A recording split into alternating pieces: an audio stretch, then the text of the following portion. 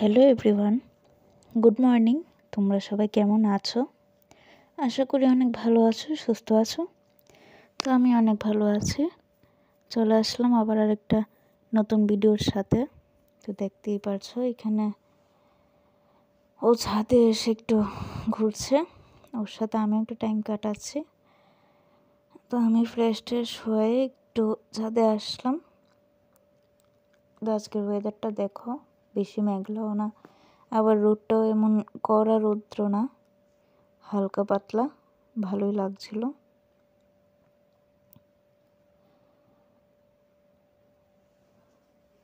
তো তোমাদের এদিকে ঠান্ডা কেমন? তোমরা জানিও, আমাদের এদিকে তো ঠান্ডা অনেকটাই কমে এসেছে।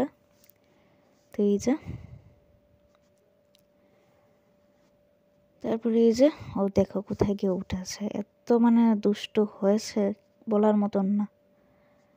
কোথায় কোথায় গিয়ে এখন উঠে তা বলার মতন না।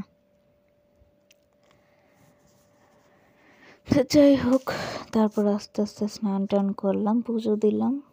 তারপরে আমার মা আজকে এখানে যাবে। তো ওই দিন দেখিয়েছিলাম যে মার বান্ধবীর মেয়ের জন্য গিফট কিনছিল। তো বান্ধবীর মেয়েরই আজকে হলদি। তো এখানেই যাবে। তো এখানে দেখতেই পারছ, বাবা আর মা কথা বলছিল।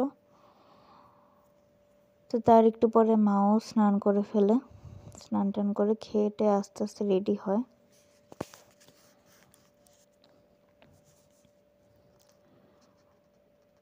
তো আমি ওদিকে পুজো টুজো দিয়ে তারপর আবার ক্যামেরাটা অন করি। তো এই যে দেখতেই পাচ্ছ মা রেডি হয়ে গেছে হলদির জন্য। তো তারপর বেরিয়ে গেল। তোমার শাড়িটা কেমন?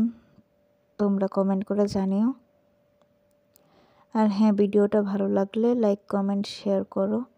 আর চ্যানেলটাকে অবশ্যই সাবস্ক্রাইব করো।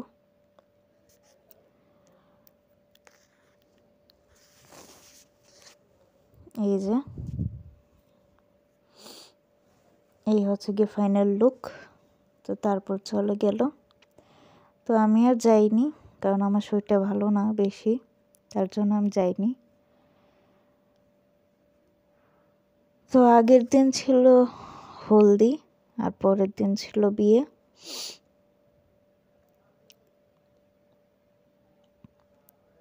তো এই যে চলে গেল। তো এটা হচ্ছে কি পরের দিন বিকেলবেলা। তো আমি ঘুম থেকে উঠলাম। ঘুম থেকে উঠে পূজা টুজা দিলাম। পূজা টুজা দিয়ে চাটা করে তারপর একটু ফ্রি হয়ে এদিকে দেখলাম মাও রেডি হয়ে যাচ্ছে। এই যে এটা হচ্ছে গিয়ে মা বিয়েতে যাচ্ছে, তো এটার লুক